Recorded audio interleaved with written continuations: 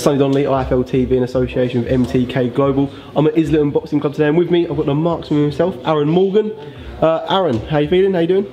I'm good, thank you, Sonny. How are you, mate? I'm good, thanks. Um, Ten months out of the ring since that big domestic uh, fight with Joe Pigford. Yep. Um, you obviously you were seeing contracts out with other promoters, but now you're back on MTK show Yep. on Saturday.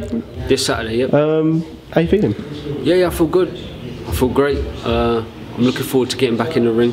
It's been a long time. It's been 10 months. I mean, not from wanting, but it's been 10 months. I was getting married. I had uh, I was shopping around for new management, which I'm with uh, with Robert and Alfie now. Um, got a great team going forward. I'm really looking forward to getting back in the ring. Obviously training with Islington uh, in Islington, now managed by the two men from Islington. I mean, uh, how do you feel? How do you feel with the new team?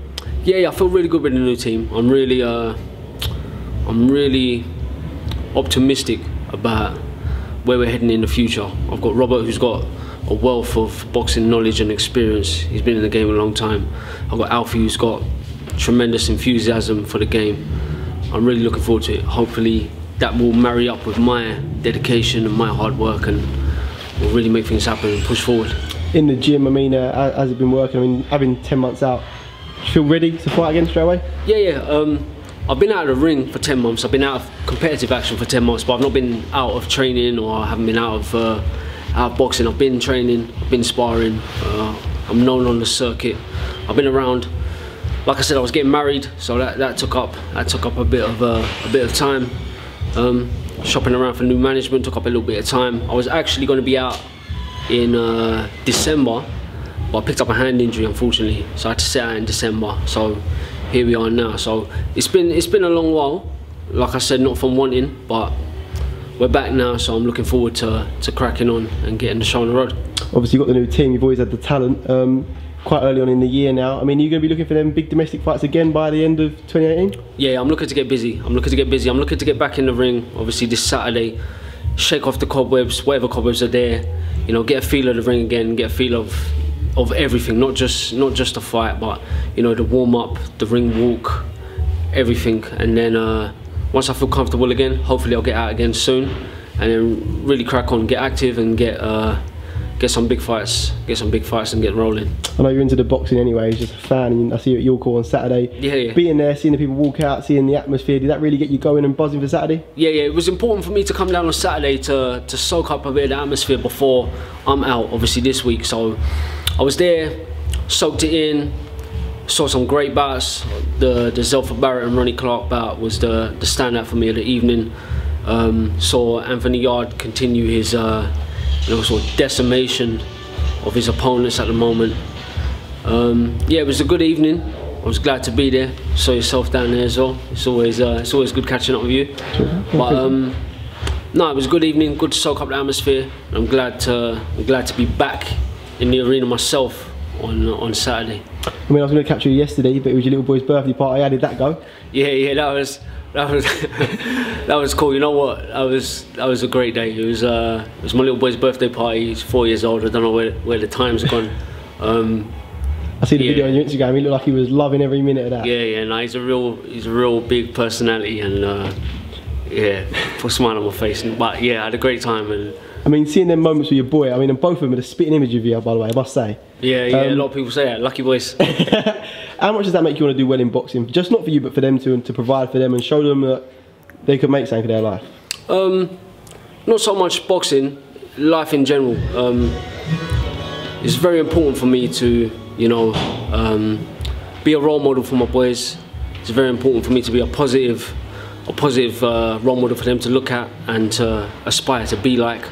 Um, you know, I come from a single parent family. You know, my father was absent; he was never around.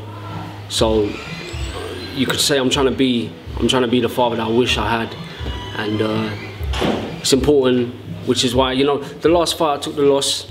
It was a great battle. I went down swinging. Um, if I could replay it again, if I had to go down swinging, I'll go down swinging again.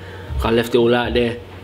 But it's very important for me to come back now and show not only to not only to my children, but to show to others.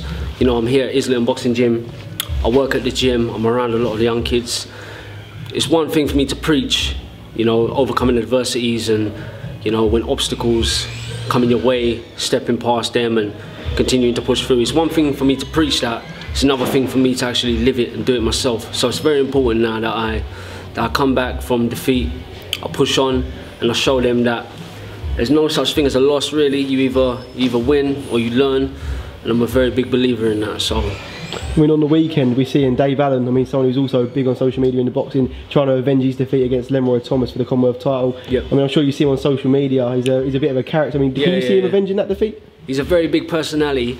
Um, he looks in great shape from what I've been following him. So I could see him avenging the defeat. Um, you know, you hear about Dave Allen and you know stuff like linking up with the fans on the day of the fight and all that kind of stuff. Um, when really he should be in his hotel room, he should be resting and getting himself ready to go. But that that's why he's turned into such a you know he's more like a sort of cult hero on uh, on the social media now. If if he's as focused as he needs to be, I see him turning it around and uh, I see him getting the victory. And with you, Pigford, is that a fight you want to get again and avenge the defeat, or can you put that behind you and just move on? Um, I could put it behind me and move on. I've put it behind me and I've moved on. Um, like anything, you have you have to move on. You know, the, sun the sun still rises in the morning and sets the following day. As a fighter, of course, I want that fight back. Um, I'll have that fight back tomorrow. Um, I felt it was a fight that I was in. I thought it was a fight that um, I think I was winning. Um, made a mistake. I got caught.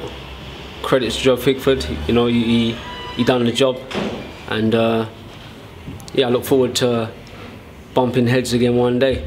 All right, mate. But listen, it's all about Saturday. Obviously, the comeback fight. That's the one. Um, get the coppers off, like you said, then a big 2018, hopefully for you. That's uh, live on IFL TV, so people people Yep, can watch yep, you. it's and then, live, it's live. And I'll grab an interview afterwards. Um, but 100%. listen, Aarron, have a good rest of the week. I'm sure I'll catch up with you soon. But until then, thank you, for IFL TV. Thank you very much, Sonny. Thank you.